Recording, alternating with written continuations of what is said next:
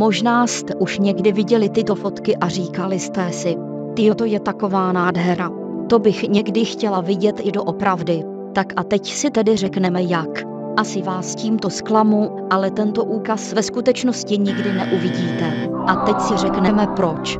To, co na těchto fotkách vidíte, ve skutečnosti není ani polární záře, ani meteory a ani komety nebo něco takového. Toto jsou ve skutečnosti hvězdy. Hvězdy? Ano, toto totiž není astronomický úkaz jako takový. A jak se to tedy může stát? Toto celé je způsobené rotací Země. Protože se Země otáčí okolo své osy, tak ze Země to vypadá, že se nám okolo nebeských pólů otáčí hvězdná obloha. To znamená, že každý bod na obloze kromě nebeských pólů za každou rotaci Země opíše kružnici. Tak a teď jak se taková fotka vytváří? Celkem jednoduše. Stačí si vzít foťák a namířit jej na noční oblohu, asi nejlépe to vypadá, když jej namíříte na nebeský pól a necháte jej několik hodin fotit. Vznikne vám tak spousta fotek, kde na každé budou hvězdy vždy na jiném místě.